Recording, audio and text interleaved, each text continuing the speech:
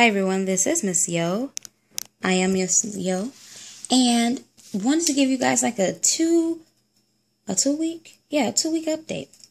Of course, oh, let me put the pen back over there. That's from eBay. It was called lipstick pen, lipstick pen from eBay. Okay, of course, I started to implement the my new nail regimen. Of course. Um, in one of my videos, I don't know if you guys have seen it yet, but I said I'll discontinue the use of it. I'm going to try it. I'm just not going to layer it with another nail polish because I was using the keratin gel only. But these are the supplies I go to. This is my Sally Hansen files, my buffers. Remember the vitamin E? Yes, that's the pink armor my um, Q-tips. These are the Q-tips. Brush. I only use, since I have yet to buy uh, the non-acetone, even though I hate it, I do have that. And then this is my magic potion, if you will, and peppermint oil. I would definitely say my essential oil the best peppermint. I love the sensation, the tingling. I just love it. And my best, I would say, carrier oil that I don't have out here, of course, is coconut oil. Um, I never told you guys. I use that for my nails and my hair, but I never really told you guys everything I put in there.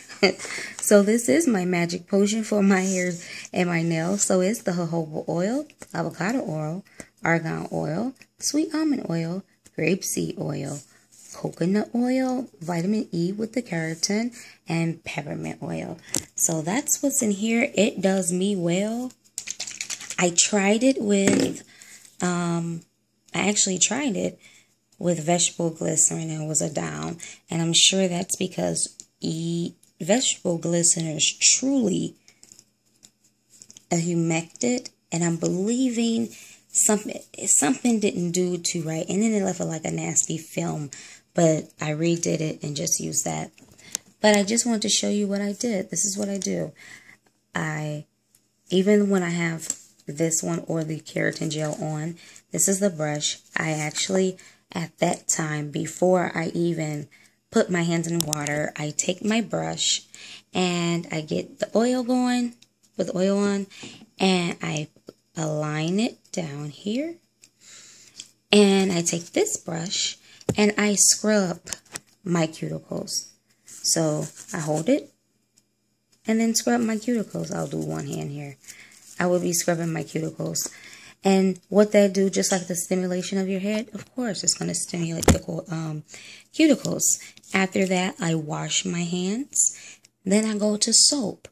Then I soak them up, clean them up the whole bit to get the extra oil off of it.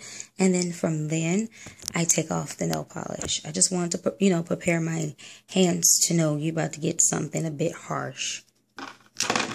Which is that. so after I clean them, take the polish off, I then go back and do my reverse. I take the soap, put oil with it, erase, you know, go through with my cuticles and then I erase, um, erase. I um, rinsed out that and then I just use plain soap.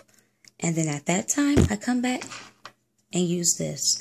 I use it twice a week and I can't say I have, I like, I really have no nails on this finger and it hurts so bad, but yeah, I don't know. So I'm going to keep at it. The awesome part is that I don't have ugly fingers. So that's the awesome part. But yeah. So that's what I do. And like I said, my favorite essential oil is peppermint oil. And coconut, of course, is the runner up. So that was it for just a small update giving you guys what I use for this is actually like what I use for the hair and the nails. And if you guys would like me to like actually paint my nails and show you, just tell me.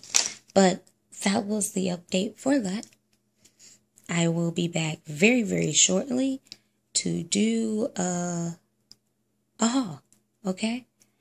This actually is the jump start of my birthday, the big three three. So I got my first gift today. I said, hey, let me let me do that. So yes, I will do a haul. And until next time, which should be soon. I'll talk to you guys later, and I love you. Bye.